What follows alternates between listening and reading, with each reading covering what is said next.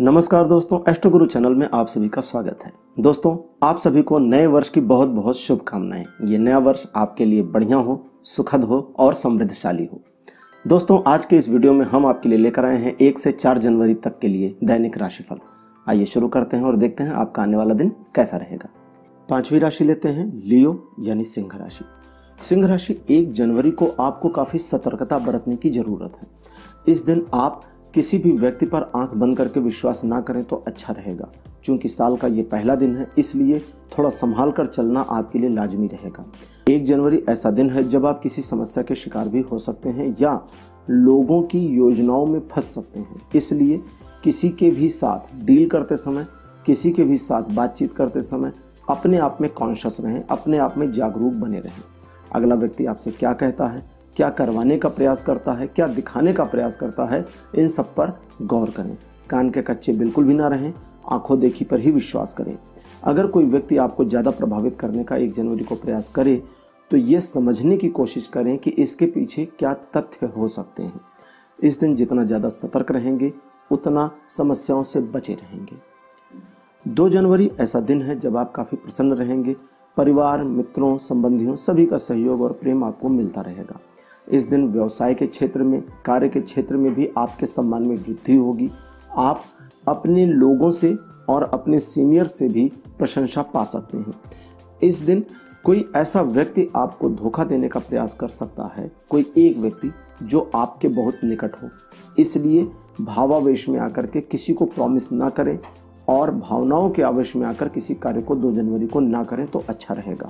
Otherwise सारे कार्यों के लिए दो जनवरी बढ़िया दिन है। किसी कार्य को शुरू करना चाहते हैं तो उसके लिए भी दिन बहुत अच्छा रहेगा।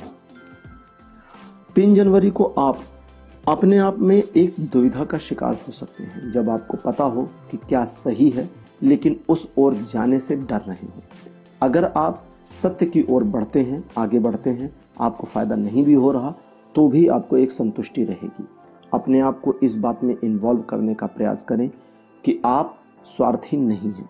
तीन जनवरी को स्वार्थ रहित होना आपके लिए फ़ायदेमंद रहेगा, लेकिन साथ ही साथ तीन जनवरी को एक बात का ध्यान रखिएगा।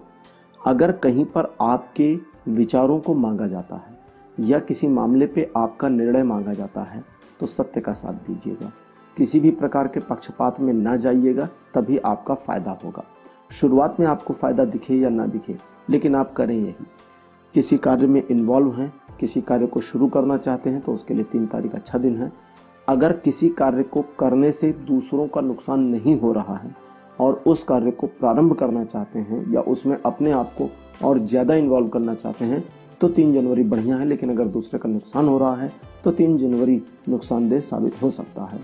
चार जनवरी अपेक्षाकृत बढ़िया दिन रहेगा। द्विपक्षीय मामलों में सफलता के संयोग हैं। प्रेमी प्रेमिकाओं और पति पत्नी के लिए ये दिन बहुत अच्छा बहुत सूटेबल है। आप एक दूसरे के साथ जितना ज़्यादा समय बिताएँगे, उतना एक दूसरे को ज़्यादा समझ पाएँगे, एक दूसरे का सम्मान कर पाएँगे और एक दूसरे के प्रति उतना ज़्यादा प्रेम बढ़ेगा।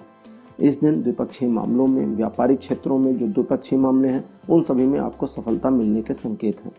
विवाह की उम्र आपकी अगर हो गई है तो आपके विवाह पर परिचर्चाएँ चल सकती हैं, या विवाह फिक्स भी हो सकता है। इन चारों दिनों में प्रेम संबंधों के लिए एक तारीख अच्छी तिथि नहीं है, एक तारीख व्यवसाय के लिए भी बढ़िया तिथि नहीं है। दो, तीन, चार, प्रेम संबंधों और व्यवसाय दोनों के लिए बढ़िया है। जबकि वैवाहिक जीवन की बात करें तो एक तारीख को आप अपने जीवन साथी से किसी बात पर तुनक सकते हैं, सिर्फ़ इतना ही होगा, बाकी तीन दिन बढ़िया रहेंगे। तो दोस्तों, ये था दैनिक राशिफल एक से चार जनवरी के लिए। आपको ये कार्यक्रम कैसा लगा? अपने अनुभव, अपने सुझाव कमेंट सेक्शन में ज़रूर लिखें। इस वीडियो को लाइक करिए, शेयर करिए और चैनल को सब्सक्राइब करना मत भूलिएगा। धन्यवाद, नमस्कार।